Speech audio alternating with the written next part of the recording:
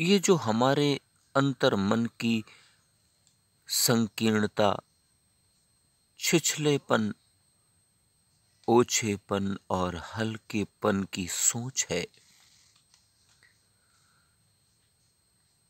ये हमारे जीवन की बड़ी समस्या है। इस उलझन को सुलझना ही चाहिए। यदि इस समस्या का निराकरण ना किया जाए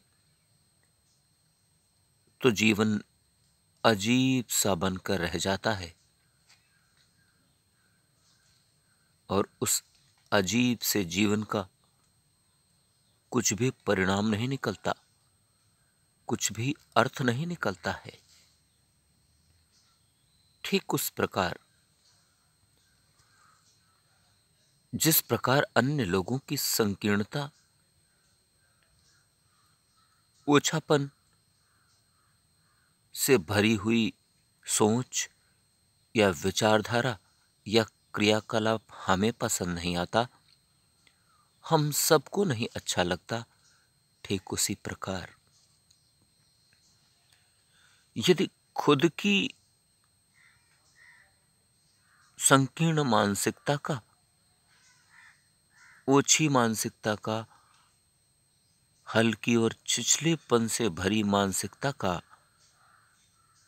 हमें आभास हो जाए, हमें पता चल जाए तो हमारे स्वयं के अंतर मन में आत्मग्लानि प्रस्फुटित हो जाएगी। और वही आत्मग्लानि हमें स्वयं को संभलने के लिए, संतुलित करने के लिए, समन्वित करने के लिए प्रेरित करेगी, प्रोत्साहित करेगी।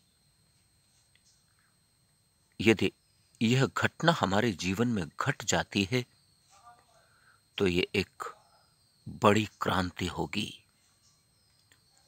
और उस क्रांति के बाद का जीवन एक अद्भुत जीवन हो सकता है। एक सुंदर जीवन हो सकता है। एक अकल्पनीय जीवन हो सकता है जो ज्ञान से भरा हो और वास्तविक रूप में यदि देखा जाए तो यह संकीर्णता, ओछेपन की, छिछलेपन की सोच हमारे अज्ञान का परिणाम है। यदि इस परिणाम को ऐसे ही जीवन में लेकर आगे बढ़ा जाए तो जीवन व्यर्थ सा हो जाएगा। और यदि इसका बोध होकर आत्मग्लानि की घटना हो जाए, फिर हम अपने जीवन को संतुलित कर पाए, समन्वित कर पाए, संशोधित कर पाए तो यही हमारा जीवन। ज्ञान से परिपूर्ण होकर सुंदर हो जाएगा,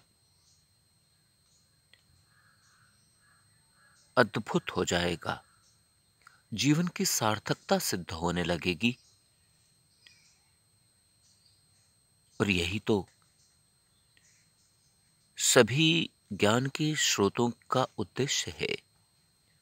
जो जो भी ज्ञान के स्रोत हमें संतुलित होने के निर्देश दे रहे हैं, वो सब यही चाहते हैं कि कैसे भी, किसी भी प्रकार से हमारा जीवन संभल जाए, सुधर जाए।